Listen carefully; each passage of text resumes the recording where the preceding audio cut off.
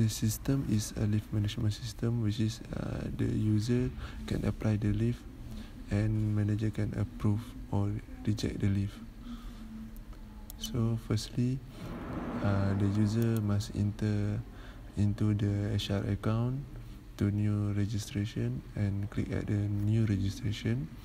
And then uh, the user will fill their name pass uh, password is default age IC number gender address phone number email and also position.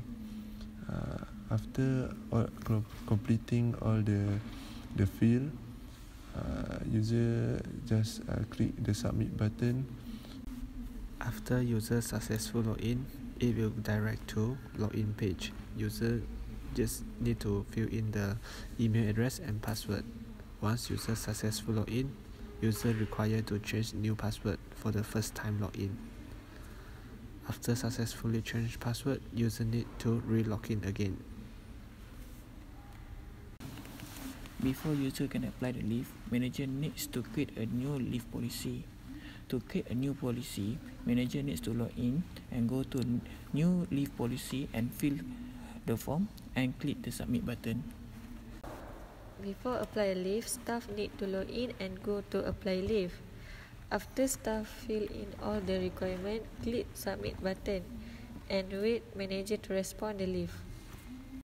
After the leave was applied by the staff, the manager need to respond the leave by login to account by clicking in the pending application part. After that, click the respond button and choose response status whether approve or reject and click the respond button.